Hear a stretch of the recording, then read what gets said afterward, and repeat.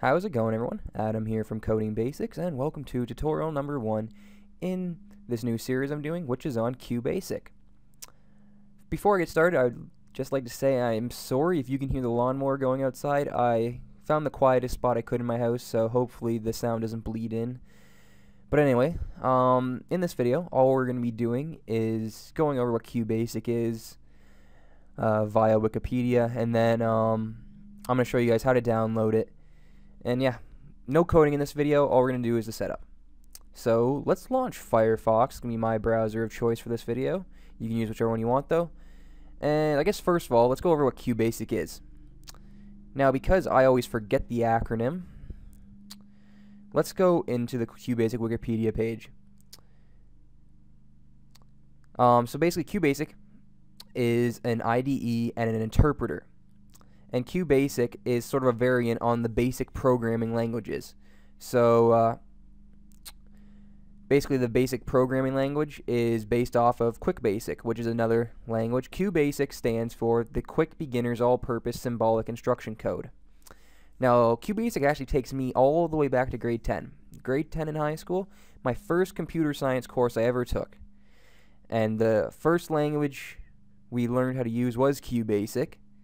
So, yeah, this takes me way back. This is the first programming I was exposed to ever. So that's why I wanted to do it. Very easy to go over, and even though it's outdated, it's a great learning tool for people who don't have much exposure to computer science and who are new to coding and all that. That's the whole reason why I'm doing this. So anyway, it was uh, originally uh, designed for MS-DOS. That was the operating system and I think I've seen it used up to Windows XP, like the actual QBasic program. But it won't work anymore on Windows 7 and, and 8 easily. You have to, you know, download more stuff, configure some settings. So, instead, we are going to use a program called QB64. So, search that, or you can just type in qb64.net, and this is where we're going to download it from. Now, when it loads, you can download something called QCloud. Um, but I'm not going to be doing that for this series. So I would suggest clicking on either the Windows, Linux, Mac OS X, or Android tabs, whichever operating system your system's using. And I would want to, at least at the time where I'm making this video, GL is the latest version. So download the .7z file. Let's actually do that together. Uh, save file, okay. And it's going to start downloading to my downloads folder. So it's going to take about three minutes. So I'm going to cancel this because I downloaded it before I did this tutorial, just to save time. So let's go into my downloads folder. And I just got to find it now. Uh, actually, I'm going to delete this because that's the original time I extracted it. Okay. So is it? Right here. So at the bottom here, you'll see QB64, uh, uh, the version information dash win.7z. I'm gonna right click on it, and one thing you will need for this is 7-zip. So if you don't have 7-zip, just Google 7-zip. It's my favorite program for extracting uh, compressed folders. So right here, you download 7-zip. Um, depending on the system, you know, that'll uh, depend uh, what you see here. But since I'm on Windows, it shows up download 7-zip for Windows.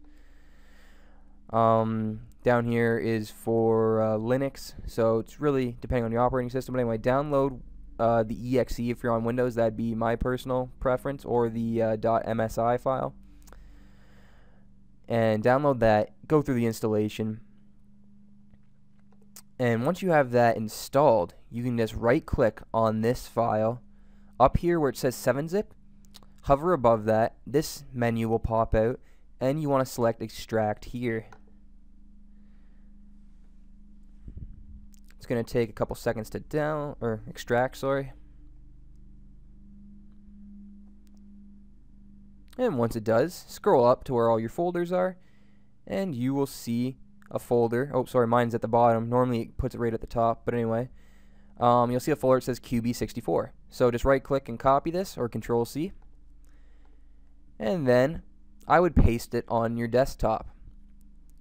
Now uh, open this up and inside the folder you'll see this application called QB64.exe and when you launch it this is our actual uh, QBasic IDE slash emulator and if you've ever used QBasic it's the exact same QB64 is just for modern machines that's the only difference uh, the file menu is where we're going to be opening, saving our files. And then um, right here is where we can run our uh, program from and also uh, you know make the exe file.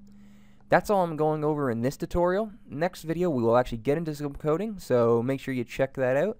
But for now that's all I got for you. Remember to leave a comment on this video, like this video and subscribe and I will see you next time.